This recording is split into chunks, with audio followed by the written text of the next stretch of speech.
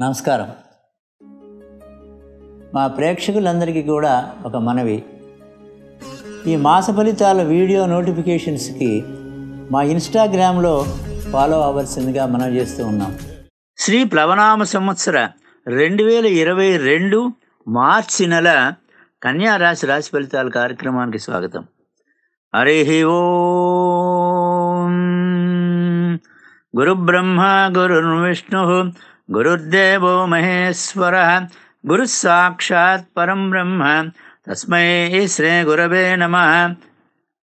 ॐ गणानां द्वा गणपति भवामहे कविं कवीनाम्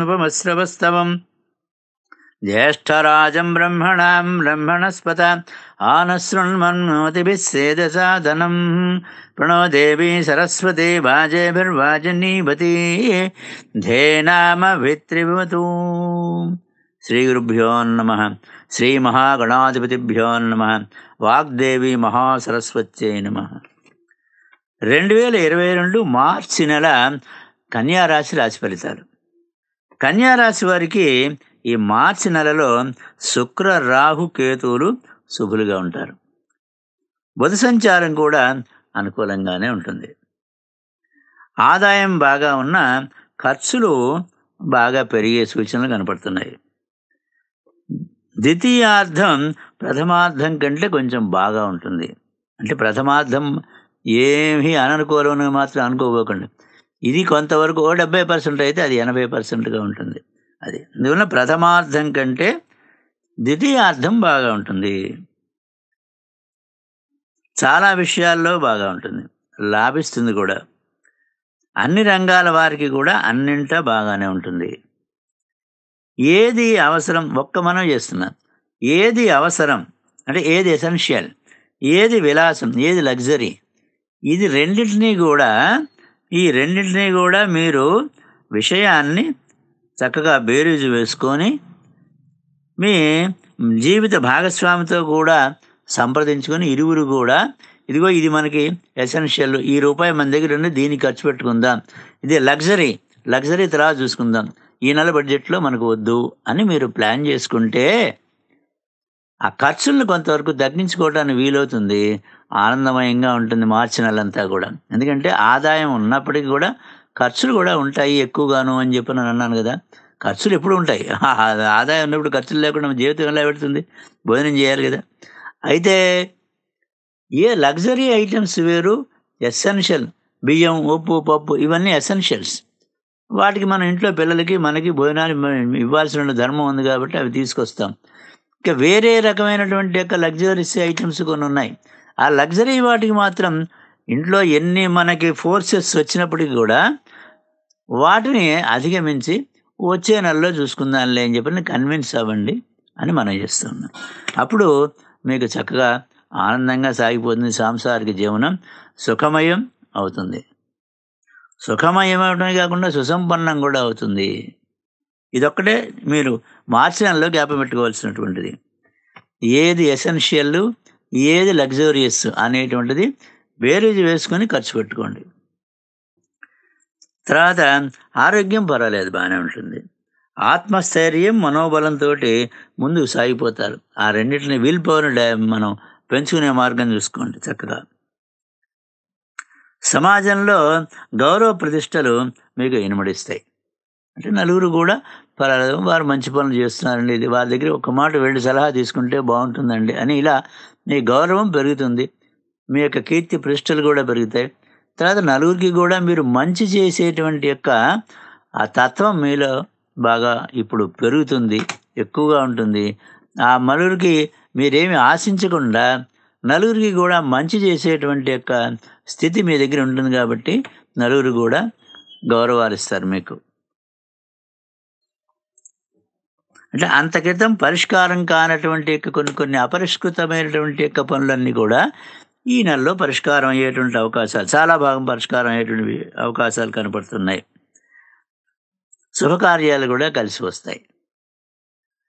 ఇప్పుడు ఎలా చెప్తున్నాం ఈ విశేషాలన్నింటినీ కూడా అంటే గ్రహ పరిస్థితి ఒక్కొక్క గ్రహాన్ని తీసుకుని ఇది ఎందుకు ఈ ఉపోద్ఘాతం అంతా ఎందుకు చెప్పానో వివరిస్తుకుందాం మనం.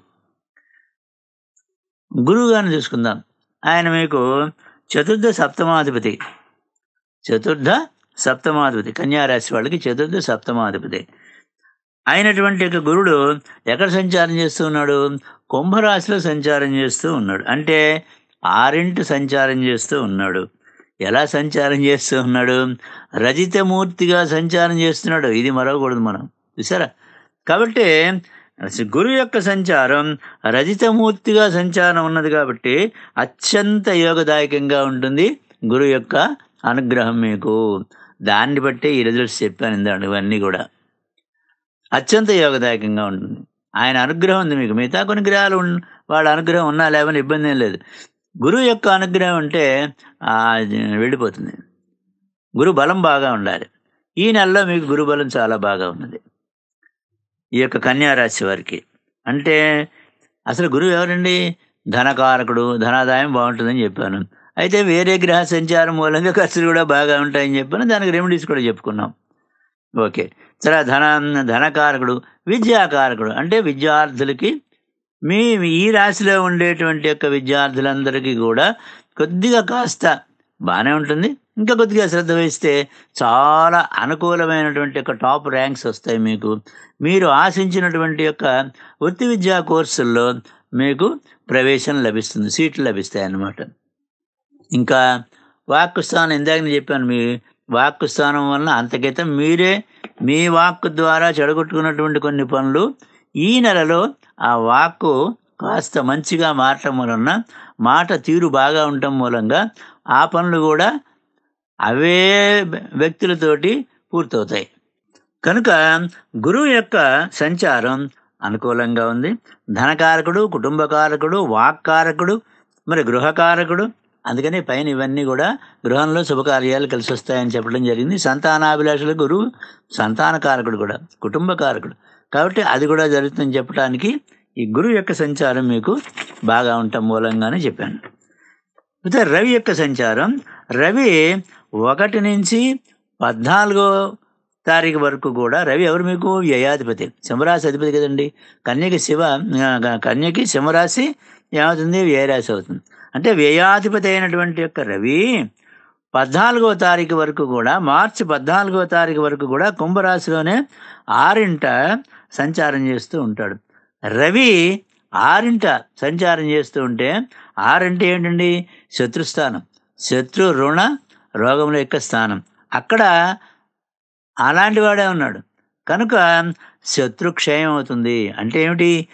బాహ్యమైనటువంటి ఒక శత్రువులు కాదు. వాళ్ళు ఎలా ఏర్పడతారు అంతఃశత్రువులు ఉంటారు మనకి. అంతఃశత్రువుల ద్వారా వాళ్ళని మనం కంట్రోల్లో ఉంచుకుంటే బహిశత్రువులు ఉండరు.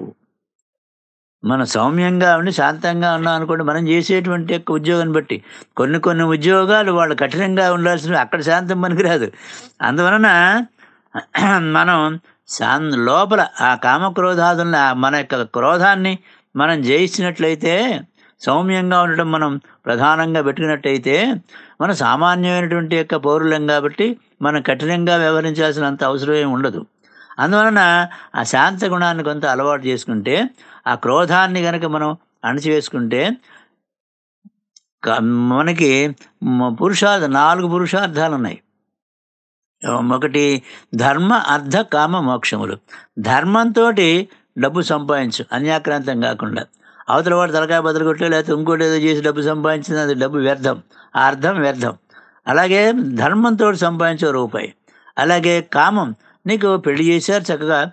ఆ ధర్మంతో నీ యొక్క ఆ కామాన్ని నువ్వు తీర్చుకుని మంచి పౌరుల్ని మంచి బ- వనితామణుల్ని నువ్వు ఈ ప్రపంచం మళ్ళా భూమి మీదకి ఇప్పించు. అది నీ అదొక రుణం తీర్చుకున్నట్టు అవుతుంది. అది. కాబట్టి ధర్మంతో అర్థాన్ని ధర్మంతో కామాన్ని అనుభవించవయ్యా. నీకు అప్పుడు మోక్షం లభిస్తుంది అని చెప్పారు. ఆ రెండు లేకపోతే శత్రువులు ఎక్కువ అవుతారు అంతఃశత్రువుల్ని కనుక మనం అదుపులో పెట్టుకుంటే ఇవన్నీ ఏర్పడతాయి. అయితే అదుపులో పెట్టుకోవడం అంత సామాన్యమైనటువంటి యొక్క విషయం కాదు. ప్రయత్నం మీద ఏదైనా సాధ్యమే. కానీ ఈ నెలలో మీకు పద్నాలుగు వరకు కూడా రవి యొక్క అనుగ్రహం పూర్తిగా ఉంది కాబట్టి శత్రుక్షయం అని చెప్పిన రాసి ఉన్నది కాబట్టి వాళ్ళందరినీ కూడా మీరు అదుపులో పెట్టుకోగలుగుతారు. మీరు దాన్నే కంటిన్యూ చేస్తే జీవితం ఆనందమయం అవుతుంది. పద్నాలుగు తర్వాత నుంచి పద్నాలుగు రాత్రి రెండు గంటల ఇరవై ఆరు నిమిషాల దగ్గర నుంచి మీనరాశిలో ప్రవేశం చేస్తాడు రవి. అక్కడ ఏడింట సంచారం చేస్తూ ఉంటాడు. మీనరాశికి అధిపతి గురువు గారు రవిగురులు ఇద్దరు మిత్రులు కాబట్టి ఆ యొక్క సంచారం కూడా బాగానే ఉంటుంది. ఓవరాల్గా ఈ మార్చి నెలంతా కూడా రవి సంచారం మీ రాశి కన్యా రాశి వారికి అనుకూలంగా ఉన్నది. అంటే ఆరోగ్యం బాగా ఉంటుందని చెప్పింది అందుకే. కుజ సంచారం. కుజుడు తృతీయ అష్టమాధిపతి మీకు. మీ రాశి వాళ్ళకి తృతీయ అష్టమాధిపతి. వాడు ఎక్కడ సంచారం చేస్తున్నాడు? మకర రాశిలో అంటే పంచమంలో సంచారం చేస్తూ ఉన్నాడు. అది సామాన్యమైనటువంటి యొక్క ఫలితాలు కుజుడు. ఎందుకని? కుజుడు ఏంటంటే కుజుడు తృతీయ అష్టమాధిపతి.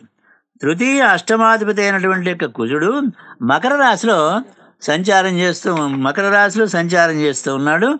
అది సామాన్యమైనటువంటి యొక్క ఫలితాలను ఇస్తుంది. ఎందుకని? మకర రాశిలో మకర రాశికి అధిపతి శని. కుజశనులు ఇద్దరికీ కూడా అంత మిత్రత్వం లేదు. కనుక అది కుజుడు సామాన్యమే. పెద్దగా యోగ యోగి అననుకూలమని కాదు అనుకూలమని కాదు. మామూలుగా ఉంటుందంతే. శుక్రగ్రహ సంచారం తీసుకుంటే శుక్రుడు ఎవరు మీ రాశికి? రెండు తొమ్మిది. రెండు అంటే ద్వితీయాధిపతి. ద్వితీయాధిపతి భాగ్యాధిపతి. ద్వితీయ భాగ్యాధిపతి అయినటువంటి యొక్క శుక్రుడు మకర రాశిలో ప్రవేశం చేస్తూ ఉన్నాడు. మకర రాశిలో సంచారం చేస్తూ ఉన్నాడు. అంటే పంచమంలో సంచారం చేస్తూ ఉన్నాడు. ఇందాక కుజుడికి పంచమంలో సంచారం చేస్తూ ఉంటే ఏదో పర్వాలేదులే అని చెప్పాను. కానీ ఇప్పుడు అదే అదే పంచమ స్థానంలో శుక్రుడు సంచారం చేస్తూ ఉంటే వాడు సంతాన లాభాన్ని ఇస్తాడు అని చెప్పని శాస్త్రం. చూసారు ఒక్కొక్క గ్రహానికి ఒక్కొక్క ప్లేసు ఒక్కొక్క రకంగా ఉంటుంది. అవి మనం స్టడీ చేసుకుని చెప్పుకోవాలి. అన్నింటికీ ఒకటే మంత్రం కాదు. అందువలన ఇక్కడ శుక్రుడు అదే మకర రాశిలో సంచారం చేస్తూ ఉంటే పంచమంలో సంచారం చేస్తూ ఉంటే పంచమం అంటే సంతాన స్థానం. సంతానాన్ని ఇవ్వగలిగినటువంటి వాడు శుక్రుడు. కుజుడు కుజుడే అబార్షన్స్ వాడు. కనుక వాడు మనకు అనుకూలంగా లేడు. ఇందాక ఇదే రాశిలో సంచారం చేస్తూ ఉన్నాం. అననుకూలం అని చెప్పుకున్నాం. ఇప్పుడు శుక్రుడు పంచమంలో సంచారం చేస్తూ ఉంటే చక్కటి సంతాన లాభం ఉంటుంది. సంతాన రీత్యా సుఖ సంతోషాలు ఉంటాయి మనకి అని చెప్పుకోవచ్చు. చూసారా? ఎంత ఎంత వ్యత్యాసం ఉంటుందో. ఒక గ్రహం ఒక రాశిలో సంచారం చేస్తుంటే రెండు గ్రహాలు ఒకే రాశిలో సంచారం చేస్తూ ఉంటే ఒక గ్రహం ఏమో ఒక రకమైనటువంటి యొక్క ప్రభావాన్ని ఇస్తాడు మన రాశి మీద. ఇంకొక గ్రహం ఇంకొక రకం మంచివైనటువంటి యొక్క ప్రభావాన్ని చూపిస్తాడు మనం చెప్పినటువంటి యొక్క రాశి మీద. చాలా డిఫరెన్షియేట్ చేసుకోవాలి ఇవన్నీ కూడా. వాడు పంచమంలో సంచారం చేస్తున్నాడు వీడు పంచమంలో సంచారం పంచమం మంచి జరగండి మీ పిల్లలందరికీ చాలా బాగుంటున్నాడు కుదురు బాగున్నాడు శుక్రుడు అని చెప్పడానికి అవకాశాలు ఉండవు. అది నేను మనం చేసేది. తర్వాత బుధుడు బుధుడు యొక్క సంచారం. బుధ సంచారం ఎవరు? మీ రాశికి అధిపతి బుధుడు కన్యా రాశికి అధిపతి బుధుడు. మీ రాశ్యాధిపతి రాజ్యాధిపతి అంటే పదో స్థానం వాడు అనమాట రాశ్యాధిపతి రాజ్యాధిపతి అయినటువంటి యొక్క బుధుడు ఒకటి నుంచి ఐదు వరకు కూడా మకర రాశిలో సంచారం చేస్తున్నాడు. ఈయన కూడా మకరంలోనే ఉన్నాడు. అంటే ఐదింటే సంచారం చేస్తూ ఉన్నాడు. అది మిత్రక్షేత్రంలో సంచారం చేస్తూ ఉన్నాడు. మకరం అంటే బుధుడు కాబట్టి మకరం అంటే శని కాబట్టి శనింట్లో బుధుడు సంచారం చేస్తూ ఉన్నాడు కాబట్టి మిత్రక్షేత్రం కాబట్టి పర్వాలేదు బాగానే ఉంటుందని చెప్పవాలి. అలాగే ఐదో తారీఖు మధ్యాహ్నం మూడు గంటల ముప్పై ఆరు నిమిషాల నుంచి కూడా బుధుడు కుంభరాశిలో ప్రవేశం చేస్తాడు. ఆ కుంభరాశి ఆరింటి సంచారం చేస్తుంటాడు. ఇందాక సంచారం చేసేటువంటి వాడు చూసాం మనం. రవి ఆరింటి సంచారం చేస్తూ ఉన్నాడు. ఇప్పుడు మళ్ళా నీకు బుధుడు ఐదవ తారీఖు మధ్యాహ్నం నుంచి ఆరింటి సంచారం చేయబోతూ ఉన్నాడు. ఇది చాలా మంచి సంచారం బుధుడిది. అంటే ఐదవ తారీఖు తర్వాత నుంచి బుధుడి యొక్క అనుగ్రహం మీకు బాగా ఉంటుంది. అది సంఘంలో మంచి గౌరవ ప్రతిష్టలు లభిస్తాయి. అలాగే మీకు వ్యాపారస్తులందరూ కూడా చాలా బాగా ఉంటుంది. వృత్తి ఉద్యోగ వ్యాపారాలన్నీ కూడా చాలా చక్కగా ఉంటాయి. విజ్ఞానం పొందుతారు మీరు. ఎందుకంటే విజ్ఞానకారకుడు బుధుడు. జ్యోతిష్ శాస్త్రము సిఏలు ఐసీడబ్ల్యూఏలు ఎంకామ్లు ఎంబీఏలు ఇవన్నీ కూడా బుధుడు యొక్క అనుగ్రహం ఉంటేనే కానీ పాస్ అవరు అందులోనే నేను మనం ఈ ప్రతి వాళ్ళకి ఎప్పుడు చెప్తుంటా వాళ్ళకి. సిఏలోను ఎంబీఏలోను ఐసీడబ్ల్యూఏలోను చేరినటువంటి వాళ్ళకి నాయన బుధుడు ఆరాధన చేసుకోండి. బుధగ్రహానికి వాళ్ళకి ఆ విష్ణు సహస్రనామాన్ని పారాయణం చేసుకోండి. లేదా బుధగ్రహ స్తోత్రాన్ని ఒక ఇరవై మాటలు చదువుకోండి అని చెప్తాను. ఎందుకంటే ఆ గ్రహ సంచారం కూడా అనుకూలంగా ఉంటే మన శ్రద్ధ పడితే దైవానుగ్రహం గ్రహానుగ్రహం కూడా మనకి తోడైతే తప్పకుండా పాస్ అవుతాం మంచి రిజల్ట్స్ వస్తాయి అన్న ఉద్దేశం చొప్పున ఈ ఆ కోర్సు చదివే వాళ్ళు ఎవరైనా ఎప్పుడైనా మనకి తటస్థపడి ప్రశ్న అడిగితే ఇది చెప్పడం జరిగింది. చాలామందికి చెప్పాను కొన్ని వేల మందికి చెప్పాను. వాళ్ళందరూ కూడా దాన్ని ఫాలో అయ్యి గురుగారు మంచి విశేషాలు పొందామండి అని చెప్తే అదొక్కటే సంతోషం మాకు వేరే ఏం అక్కర్లేదు. ఎందుకంటే ఈశ్వరుడు మాకు అన్నీ ఇచ్చాడు. కాబట్టి ఐదు తర్వాత నుంచి కుంభరాశిలో ఆరింటి సంచారం చేసేటువంటి వాళ్ళకి ఈ రాశి వాళ్ళకి బుధుడు యొక్క అనుగ్రహం సంపూర్ణంగా ఉంది. మనకి మార్కెట్లో మీ యొక్క పేరు ప్రఖ్యాతులు ఉంటాయి. మీరు ఏదనుకుంటే అది వాళ్ళు చేసి పెట్టేవాళ్ళు కూడా చాలామంది ఉంటారు. అని చెప్పాలి. బుధుడు యొక్క సంచారం గురించి. తర్వాత శని సంచారం. శని సంచారం శని ఎవరు మీకు? పంచమ షష్టాధిపతి. పంచమ షష్టాధిపతి అయినటువంటి యొక్క శని లోహమూర్తిగా సంచారం చేస్తూ ఉన్నాడు. లోహమూర్తిగా అసలే శని గ్రహం. అందులో లోహమూర్తిగా సంచారం ఉపయోగమేమి ఉండదు అని చెప్పాలి. అనుకూలత కాదు అననుకూలత అని చెప్పాలి. మనకి. అయితే అంతటితోటి ఆపేశారా? ఇంకా ఏమైనా చెప్పబోతున్నారా అంటే చెప్పబోతూ ఉన్నాను. ఏమిటది? ఐదో స్థానం వాడు ఐదు ఐదు ఐదు వాడు ఐదులోనే సంచారం చేస్తూ ఉన్నాడు. మీ ఇంట్లో మీరే సంచారం చేసుకుంటున్నారు. మీ ఇంట్లో మీరే ఉన్నారు. సేఫ్ సైడ్ కదండి. అందువలన శని ఐదు వాడు ఐదింటిలోనే సంచారం చేయటం మూలంగా లోహమూర్తి అయినప్పటికీ కూడా పర్వాలేదు. సామాన్యుడు ఫలితాలు లభిస్తాయి. గొప్ప రాజయోగాలు ఉంటాయని మాత్రం చెప్పలేను. కానీ ఐదు వాడు ఐదులో సంచారం చేస్తున్నాడు కాబట్టి మంచి పర్వాలేదు. చెరుపు ఉండదు. అనుకూలత అనుకూలత లేకపోయినా అననుకూలత లేకుండా ఉంటే చాలు. అది.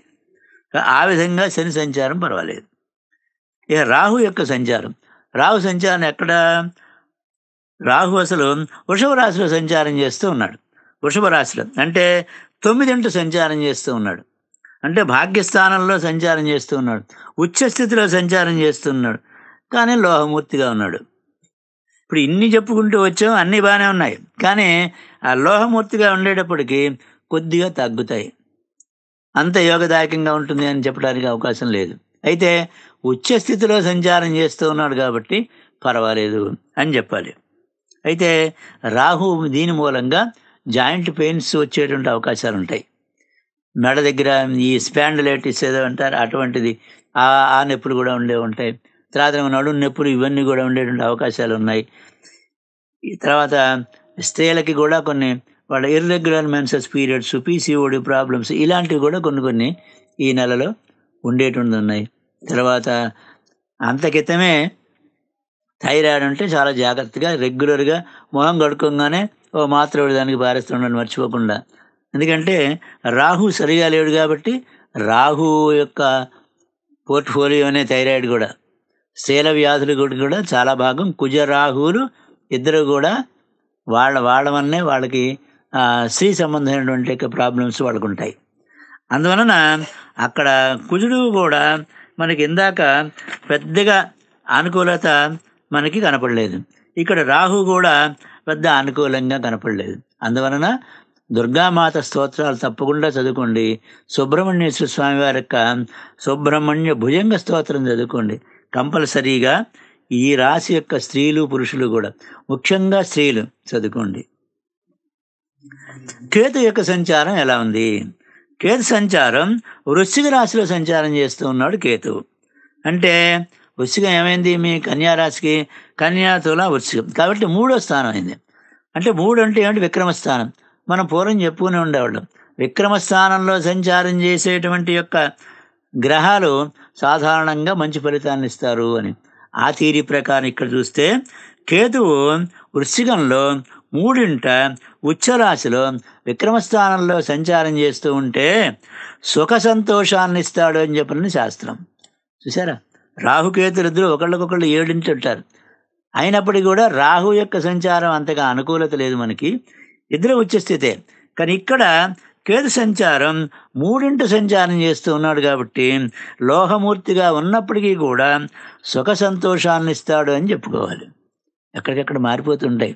చాలా స్టడీ చేసుకుని మనం ఆ గురువుగారిని తలుచుకుంటూ దైవానుగ్రహం కోసం ప్రయత్నం చేస్తూ చెప్పుకుంటే మీకు చెప్పినటువంటి యొక్క నాకు కూడా కృతార్థనవుతాం కాబట్టి కేతు సంచారం చాలా బాగా ఉంది. సుఖ సంతోషాలు ఉంటాయి కాబట్టి అందుకనే మీకు ఈ నెలంతా కూడా పర్వాలేదు బాగానే ఉంటుందని చెప్పడం కూడా జరిగింది.